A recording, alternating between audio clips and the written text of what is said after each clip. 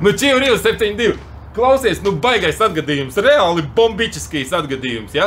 Skaties, e, Toyota RAV4, nu, kārtīgi rūs, nu, riktīgi rūsējoša mašīna un tā tālāk. Un uh, Armāns vienkārši nomaina eļļu viņai. Ja?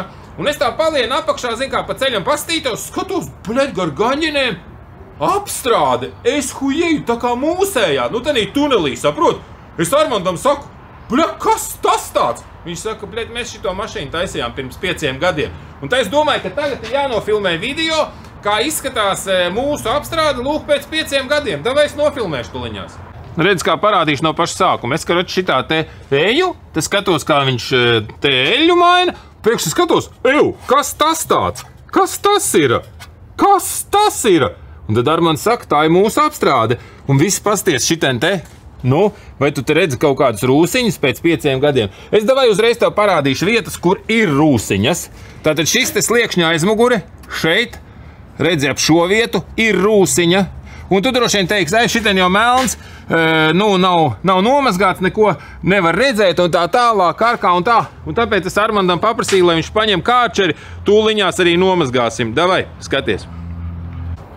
Ka tūliņās maziņais ralfiņš noskrūvēs riteni, ja, lai varam tur forši visu nomazgāt, visu nofilmēt. Nu tā kaut kā, lai iet tādā garā, lai viss ir pēc augstākās klases.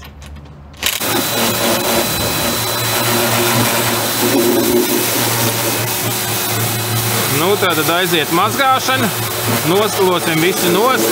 Pie reizes vēl tie, kas saka, ka mūsējo slāni var noskalot nost ar, ar kārčeri un tā tālāk. Nu, kas pa muļķībām? Labi, skatāmies tuvāk.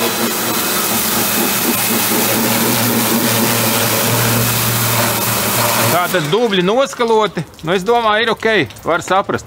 Un re, kur ir mūsējs slānis, paņem varbūt kaut kādu lupatu noslaukam to slapjumu, citādi viņš Izskatās pārāk skaisti, vai ne? Nu kā, kā izskatās, kā rūsām izskatās? Nu šitā. A kurš gads šitai tojetai, tu zini? Kaut kāda veca, nav jaunā. 2007. vai 2008. gads ar mani saka kaut kāds tāds. Jā, nu paslauka bišķīt. Nu lūk, mūsu slānis pretrūsis, ja, šitā skatāmies. Rekā izskatās.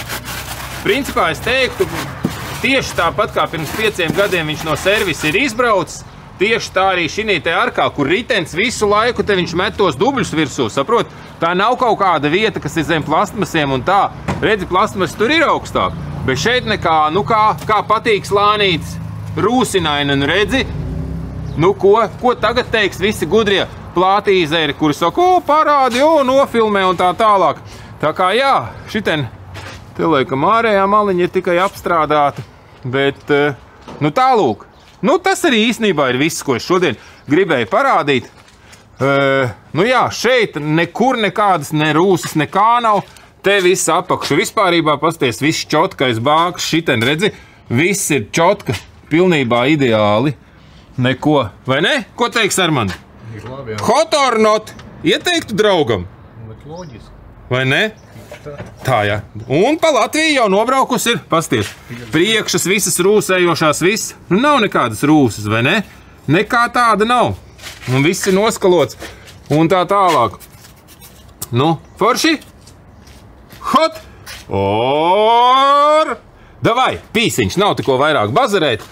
Nu jā, šī ir vienīgā vieta. Te varbūt īstenībā kaut kas ir celts. Ja redzi tāds tā kā nospiedums, te es pieļauju domu, ka te ir likts apakšā kaut kas un celts uz domkrata kaut kādā augšā. Jo viss pārējais izstāsta vienkārši perfekts-no.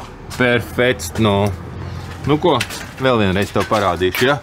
Redzi, un nekas te ir kādu kārčeri, tu to var nomazgāt. Perfekts. Perfekts pārklājums. Davai, pīs!